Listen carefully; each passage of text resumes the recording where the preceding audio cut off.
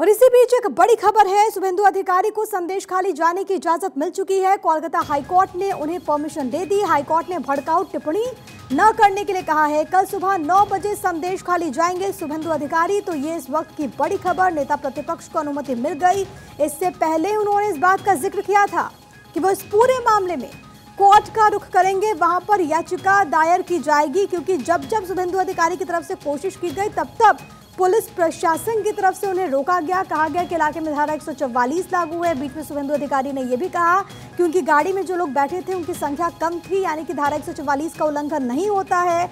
लेकिन इन सब के बीच एक बड़ी राहत उन्हें ज़रूर मिली है, क्योंकि कोर्ट ने अनुमति दे दी। लेकिन कोर्ट ने इस दौरान निर्देश ये ज़रूर दिया है कि वो भड़काऊ टिप्पणी नहीं करेंगे।